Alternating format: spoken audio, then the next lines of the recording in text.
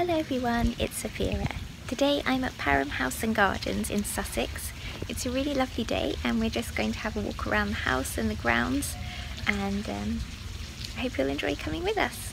Parham is a really lovely Elizabethan house. I've been there a few times but I always enjoy going back there. The gardens are really lovely too and we decided to go there first as it was such a nice sunny day.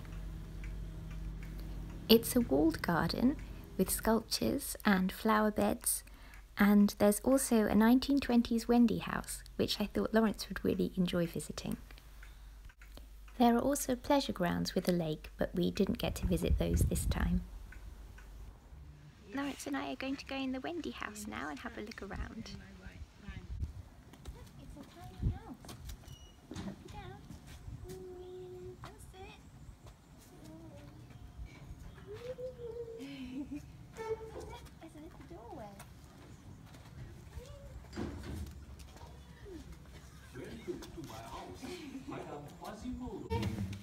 Oh, you're gonna shut me out? You're gonna shut me out? Hey, I wanted to come in. Can I come in? Is it alright? I'll come in then. Oh. oh. come on, let me in. You sit down, Lawrence.